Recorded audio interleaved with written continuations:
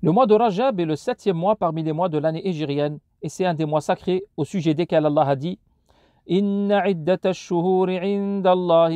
shahran fi samawati wal arda minha hurum. Pour Allah est tel qu'il fut prescrit dans son livre le jour où il créa les cieux et la terre, les mois sont au nombre de douze, dont quatre sont sacrés. Et ce mois est un préliminaire aux deux mois de bien et de bénédiction que sont Sha'ban et Ramadan. Et le mois de Rajab fait partie certes des mois vénérés à la période antéislamique. Il a été nommé Rajab car il provient du mot tarjib qui signifie la vénération en arabe, car les Arabes le vénéraient et délaissaient le combat durant ce mois par vénération envers celui-ci et par respect. Et certains ont évoqué que le mois Rajab avait plus de 14 noms chez les Arabes de la période anté-islamique. Parmi ceux-ci, El-Assam, car on n'y entendait pas le bruit des armes. El-Asab, car il croyait que la miséricorde s'y déversait abondamment. Haram, car sa sacralité est ancienne. Muqim, car sa sacralité est affirmée. Et la pluralité de noms pour une même chose est signification de sa grandeur et de son importance.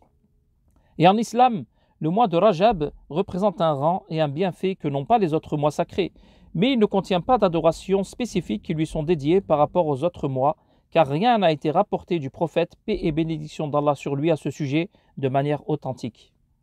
Ibn Taymiyyah, qu'Allah lui fasse miséricorde, a dit Et il en est ainsi pour les hadiths rapportés concernant le mérite du mois de Rajab en particulier, ou concernant le mérite de le jeûner, ou d'en jeûner une partie, ou au sujet du mérite d'une prière particulière en son sein, tel que Ar-Ra'ib, tout cela est du mensonge forgé.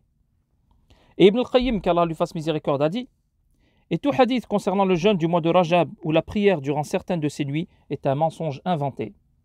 C'est pour cela que nous devons prendre garde durant ce mois contre les innovations dans lesquelles tombent beaucoup de gens, et parmi celles-ci, particulariser ce mois par des prières telles que Ar-Ra'aib et Al-Alfiya et autres. Le particulariser par le fait de sortir sa zakat spécifiquement durant ce mois.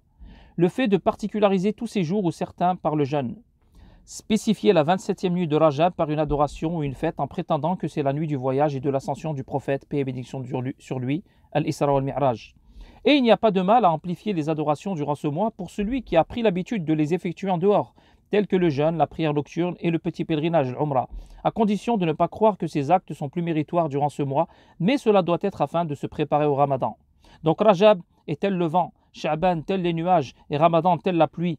Et celui qui ne plante pas ses graines durant le mois de Rajab et qui ne les arrose pas durant le mois de Sha'ban, comment pourrait-il en récolter les fruits durant Ramadan?